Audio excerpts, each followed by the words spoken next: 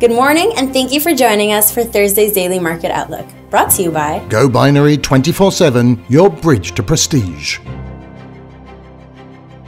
After Chancellor Angela Merkel's Conservatives lost ground, the euro is expected to remain under pressure. As spreads on junk debt decrease, analysts believe that a point of sale emerges. As the pound continued to rally to the upside, economists spread warnings that effects of Brexit are yet to come.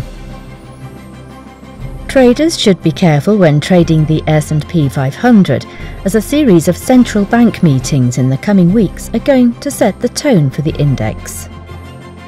Traders should expect high volatility today for the euro yen pair as the ECB will hold a press conference. The Aussie is expected to head higher against the dollar as Australian trade balance is expected to expand.